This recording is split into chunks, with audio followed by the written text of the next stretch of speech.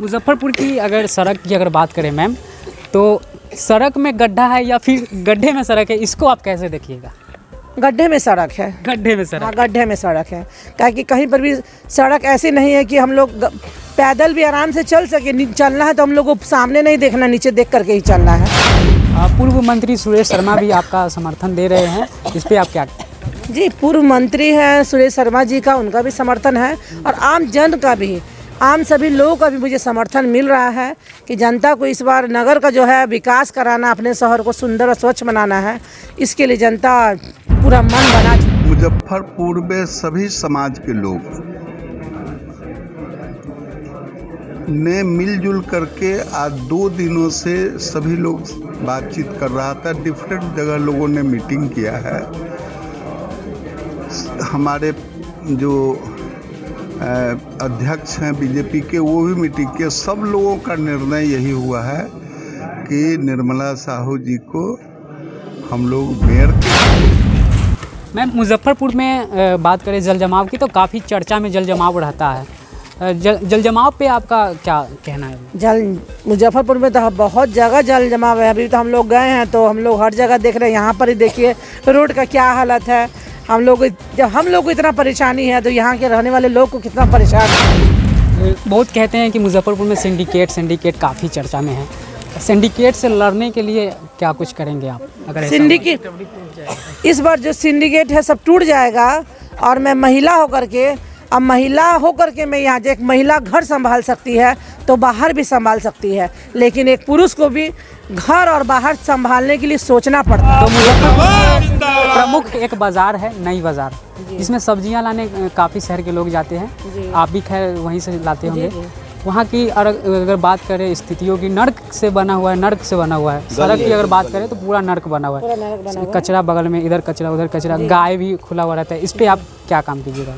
तो जो रोड पे जो सब्ज़ी ठेला जो लगता है हम लोग एक चिन्हित जगह करके जो रोड पे जो सब्ज़ी जो बेच रहे हैं लगा रहे हैं दुकान उन गरीब लोगों का भी खासकर ध्यान रखेंगे। और उनके लिए एक जगह पर जैसे आप बाहर वगैरह में भी देखिएगा दुकान वगैरह लोग के लिए रहता है सब्ज़ी मार्केट है तो सब्ज़ी लेने के लिए लोग उस जगह पर जा रहे हैं। तो यहाँ के नगर निगम से जो चिन्हित जगह को चुन के हम लोग वहाँ पर उन वेंडरों के लिए प्रॉपर वे में वहाँ पर एक मतलब कि हम लोग वहाँ पे दुकान का भी व्यवस्था होगा ताकि उन लोग गंदगी भी नहीं हो साफ़ सफ़ाई लोग आराम से जा करके लोग वहाँ पे सब्ज़ी वगैरह जो भी सामान है ज़रूरत का सामान खरीद खरीद सके। मुजफ्फरपुर नगर निगम चुनाव 2022 मेयर प्रत्याशी है निर्मला साहू जी उनसे हम बात करेंगे और जानेंगे कि क्या कुछ इस बार जो है नगर निगम चुनाव को लेकर के इस बार चुनावी मैदान में आए हैं। निर्मला साहू जी सबसे पहले स्वागत है मुजफ्फरपुर नाव जी आपका बहुत बहुत धन्यवाद जनता के बीच घूम रहे हैं कैसा फीडबैक जनता का मिल रहा है? जनता के बीच हम लोग जा रहे हैं। जनता का बहुत अच्छा फीडबैक है। जनता का पूरा समर्थन मिल रहा है, पूरा सहयोग मिल रहा है। जनता भी इस बार, जो जनता भी इस जनता को भी इस बार परिवर्तन चाहती है तो इस बार जनता को मौका मिला है कि पहली बार उन लोगों को मेयर का चुनाव करना है। इससे पहले तो वार्ड पार्षद लोग ही मेयर को चुनते थे, जिससे कि सब लोग शहर की व्यवस्था से लोग भली भांति परिचित है। तो इस बार जनता बदलाव के मूड में है, बदलाव करेगी। दर्जनों प्रत्याशी दर्जनों प्रत्याशी है मेयर में। निर्मला साहू को ही क्यों चुनेगी जनता? निर्मला साहू एक सेविका के रूप में जनता के बीच में शुरू से काम कर रही है। पहले भी समाज सेविका के रूप में ही हम काम किए हैं। आज एक समाज सेविका के रूप में ही जनता के बीच में हम जा रहे हैं। तो जनता क्यों हम जब विकास करने के लिए आए हैं इस शहर को स्वच्छ और सुंदर के बन, बनाने के लिए आए हैं तो जनता निश्चित ही चुनेगी जनता भी देख रही है कि हम शुरू से हम काम करते हुए अभी भी जनता के बीच में हैं और कर रहे हैं। पूर्व मंत्री सुरेश शर्मा भी आपका समर्थन दे रहे हैं। इस पर आप क्या जी पूर्व मंत्री हैं सुरेश शर्मा जी का उनका भी समर्थन है और आम जन का भी। आम सभी लोगों का भी मुझे समर्थन मिल रहा है कि जनता को इस बार नगर का जो है विकास कराना अपने शहर को सुंदर और स्वच्छ बनाना है। इसके लिए जनता पूरा मन बना चुकी है। मैम मुजफ्फरपुर में बात करें जल जमाव की तो काफ़ी चर्चा में जल जमाव रहता है। जल जल जमाव पे आपका क्या कहना है? जल, मुजफ्फरपुर में तो बहुत जगह जल जमाव है। अभी तो हम लोग गए हैं तो हम लोग हर जगह देख रहे हैं। यहाँ पर ही देखिए, रोड का क्या हालत है। हम लोग, जब हम लोग को इतना परेशानी है तो यहाँ के रहने वाले लोग को कितना परेशान होंगे। और सब जब बहुत, सब सब जगह जो यहाँ की जनता जल जमाव से परेशान है। हम लोग हम, मेरा आवास कल्याणी केदारनाथ रोड में ही है। वहाँ पर देखिए हमेशा पानी लगा रहता है। अभी हम बरहमपुरा में हम लोग गए हैं पूरा वहाँ पे पैदल चलने का जगह नहीं है। तो वहाँ की जो जनता है वो कैसे उस चीज़ को बर्दाश्त करती होगी? हम लोग तो ये चीज़ सोचते हैं। मुजफ्फरपुर की अगर सड़क की अगर बात करें मैम तो सड़क में गड्ढा है या फिर गड्ढे में सड़क है इसको आप कैसे देखिएगा? गड्ढे में सड़क है। गड्ढे में सड़क। हाँ गड्ढे में सड़क है। क्या कि कहीं पर भी सड़क ऐसी नहीं है कि हम लोग पैदल भी आराम से चल सके। चलना है तो हम लोग को सामने नहीं देखना नीचे देख करके ही चलना है। बहुत कहते हैं कि मुजफ्फरपुर में सिंडिकेट सिंडिकेट काफ़ी चर्चा में है। सिंडिकेट से लड़ने के लिए क्या कुछ करेंगे आप, अगर सिंडिकेट इस बार जो सिंडिकेट है सब टूट जाएगा और मैं महिला होकर के, अब महिला होकर के मैं यहाँ एक महिला घर संभाल सकती है तो बाहर भी संभाल सकती है। लेकिन एक पुरुष को भी घर और बाहर संभालने के लिए सोचना पड़ता है। लेकिन महिला जितने आत्मविश्वास से घर को लेके एक समाज के साथ रहती है और बा, बाहर की व्यवस्था को भी देख करके घर में आके पूरे समाज को भी चला चला सकती है। मैम यदि आप जीत जाते हैं तीस को जनता आपके ताज चढ़ा चढ़ा देती है सर पे सबसे पहला आप अपने कलम से मुजफ्फरपुर के लिए क्या करेंगे? सबसे पहले मैं महिला हूँ महिलाओं की सुरक्षा के लिए जो उनकी ज़रूरतें हैं, मैं पहले उन, उसी को पहले पूरा करूँगी उसके बाद और भी जो भी काम है, जो भी काम नहीं हुआ है, उसको सुचारू रूप से आगे बढ़ाते हुए उसको अच्छे ढंग से हम लोग चलाएँगे और आगे भी जो भी पूरा जनता के सहयोग से ही सभी लोग के आशीर्वाद से हम लोग आगे जो भी कार्य होगा अच्छे से सुचारू रूप से चलाएँगे। अपने शहर को जो है निश्चित एक बदलाव लाएँगे ताकि यहाँ की जनता खुद कहे कि मेरा शहर जो है मुजफ्फरपुर शहर सुंदर और स्वच्छ है।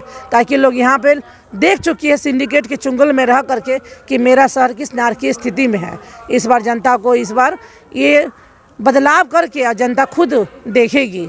इसलिए मैं यहाँ के मुजफ्फरपुर के तमाम मतदाता बंधु से मैं ये अपील करती हूँ कि इस बार आपको ये बहुत अच्छा मौका है और इस बार पहली बार आप लोगों को मेयर का चुनाव करना है। और इसके लिए पंद्रह प्रत्याशी में सिंगल महिला प्रत्याशी है। आप शहर की व्यवस्था, पूर्व की व्यवस्था को देखते हुए मैं हम पूर्व के लोगों को हम दोष हम हम नहीं दे रहे हैं, लेकिन वो जनता यहाँ की देख रही है, उसको देखते हुए और इस बार एक महिला के सपोर्ट के लिए एक सम्मान के लिए सब महिलाओं के साथ और सब युवाओं की शक्ति को इस बार जो है महिलाओं को हम लोग को जो आशीर्वाद मिल रहा है मिल आगे भी मिलेगा। और हम लोग अच्छा सुचारू रूप से अपने शहर को सुंदर स्वच्छ बनाएँगे परिवर्तन करके रहेंगे इस बार। मैं निर्मला साहू मेयर प्रत्याशी। एक चीज़ एक चीज़ एक चीज़ अगर देखें तो मुजफ्फरपुर के प्रमुख एक बाज़ार है नई बाज़ार जिसमें सब्ज़ियाँ लाने काफ़ी शहर के लोग जाते हैं। आप भी खैर वहीं से लाते होंगे। वहाँ की अगर अगर बात करें है। सड़क की अगर बात करें तो पूरा नर्क बना हुआ है। कचरा बगल में इधर कचरा उधर कचरा गाय भी खुला हुआ रहता है। इस पे आप क्या काम कीजिएगा? तो जो रोड पे जो सब्ज़ी ठेला जो लगता है हम लोग एक चिन्हित जगह करके जो रोड पे जो सब्ज़ी जो बेच रहे हैं, लगा रहे हैं दुकान, उन गरीब लोगों का भी खासकर ध्यान रखेंगे। और उनके लिए एक जगह पर जैसे आप बाहर वगैरह में भी देखिएगा, दुकान वगैरह लोग के लिए रहता है, सब्ज़ी मार्केट है तो सब्ज़ी लेने के लिए लोग उस जगह पर जा रहे हैं। तो यहाँ के नगर निगम से जो चिन्हित जगह को चुन के हम लोग, वहाँ पर उन वेंडरों के लिए प्रॉपर वे में वहाँ पर एक मतलब कि हम लोग वहाँ पे दुकान का भी व्यवस्था होगा ताकि उन लोग गंदगी भी नहीं हो साफ़ सफ़ाई लोग आराम से जा कर के लोग वहाँ पे सब्ज़ी वगैरह जो भी सामान है ज़रूरत का सामान खरीद खरीद सके और जो वहाँ के लोगों को भी है इस गंदगी से इस त्रासदी से मुक्ति मिल सके। चुनाव चिन्ह क्या है? मेरा चुनाव चिन्ह कुकर छाप है जो कि छः नंबर पर है। इस बार सभी लोगों को तीन पहली बार जो वोटिंग करना है तीन वोटिंग कर रहा है मेयर उपमेयर वार्ड पार्षद। तो मेरा मेयर से है और मेरा जो ईवीएम मशीन रहेगा नील पीले रंग के जो कार्डबोर्ड में उसके में है जो मेरा छठे क्रम पर छठे नंबर क्रम पर कुकर छाप है। कुल पंद्रह प्रत्याशी है। क्या लगता है किनसे मुल- मतलब आमना सामना होगा महिलाएँ किसी से कमज़ोर नहीं है। जी। बिल्कुल। बहुत बहुत धन्यवाद। जी बहुत बहुत धन्यवाद आपका भी। हमारे साथ मेयर प्रत्याशी निर्मला साहू जी थे जिन्होंने क्या कुछ कहा आप सुना भी। विकास के मुद्दों पे अगर बात करें तो विकास के मुद्दों पे निर्मला साहू ने बताया भी कि क्या कुछ है हालात मुजफ्फरपुर की। आगे भी ऐसे ही दिखाते रहेंगे मुजफ्फरपुर नाव के लिए राकेश चौधरी बहुत बहुत धन्यवाद।